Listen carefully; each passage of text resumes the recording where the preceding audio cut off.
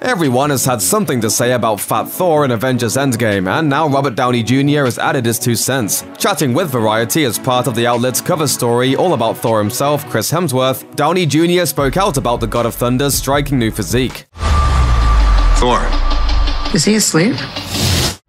The five years after the Avengers post-Infinity War face-off with Thanos, which ended with Thor decapitating the Tyrant, weren't kind to the God of Thunder. The mighty Asgardian sank into a pit of grief, isolating himself to a small shack in New Asgard and spending his days eating, drinking, and yelling at kids while playing Fortnite. He emerged after the time jump sporting a shaggy beard, unkempt hair that grew to his shoulders, and a protruding belly courtesy of barrels of beer and newfound love for Cheez Whiz. Chubby Thor divided fans, but where does the Iron Man actor sit on the spectrum? Downey Jr. revealed to Variety that he adores what Hemsworth did with the character, and praised his all or nothing performance. Boy, did he go bonkers, he went out to the bleeding edge. I have a rule, which is if you think you're at 70%, then start pulling back, because it's probably at 105%. He went out into some pretty risky atmosphere of nuttiness. What do you think about these panic attacks? Get it together.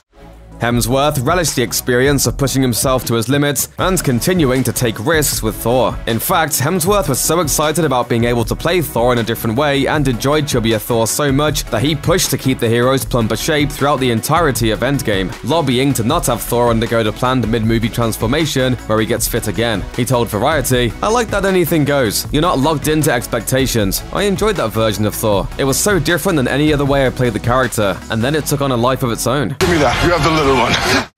Hemsworth even found some joy in the not-so-fun parts of portraying Fat Thor, namely the heavy silicone prosthetics and extra weights he had to wear, saying, Physically, it was a good three hours in hair and makeup. Then the prosthetic suit, particularly for the shirt-off scene, that was a big silicone that weighed about 90 pounds. It was certainly exhausting. I had weights on my hands and ankles just to have my arms and legs swing differently when I shuffled along through the set. People just kept coming up and cuddling me like a big bear or rubbing my belly like I was pregnant, or trying to sit on my lap like I was Santa Claus you get a lot of affection. I felt like an old man, an old grandpa with a bunch of kids around. Downey Jr. wasn't the only Endgame guy who had kind words to say about Chubby Thor. The film's co-director, Anthony Russo, shared with Variety that Thor's arc in Endgame was among his favorite narratives in the entire film. Like Downey Jr., Russo also applauded Hemsworth's commitment to his character. Part of Chris's magic as a comedic actor is his dedication to the depth of the character on a very earnest level. It's so devious and subversive when comedy is coming from a place of complete commitment and emotional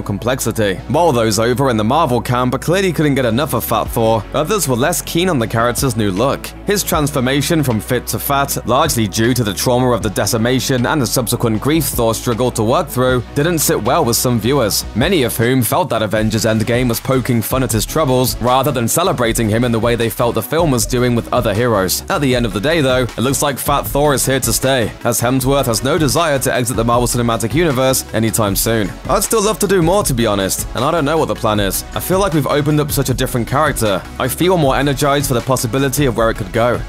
Check out one of our newest videos right here. Plus, even more Looper videos about the MCU are coming soon. Subscribe to our YouTube channel and hit the bell so you don't miss a single one.